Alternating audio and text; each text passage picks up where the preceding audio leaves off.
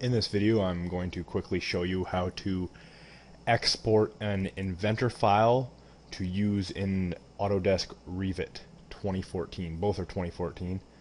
Uh, so here I have my 3D model. I did something simple. You go to environments and you go click on BIM Exchange.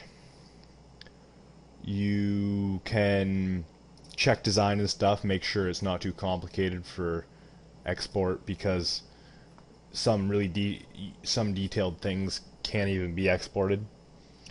Uh, then you click export building components. You choose some identity data and file type, orientation, component type.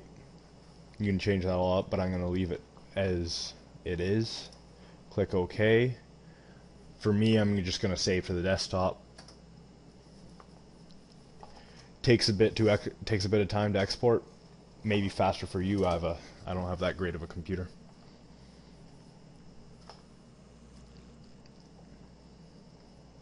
It's exporting. It's asking me if I want to view the detailed report. I'm going to click no. Get out of this. Now I'm into Revit. Uh, I go to insert and I click load family. I locate it right here, DeWalt compressor, open.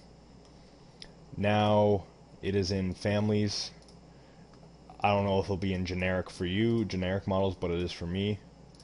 DeWalt compressor standard. Drag it in and place it. I'm going to place 4. Escape. And there they are.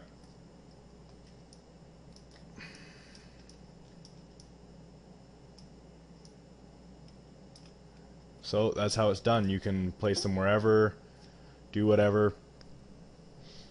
And yeah, thanks for watching my video.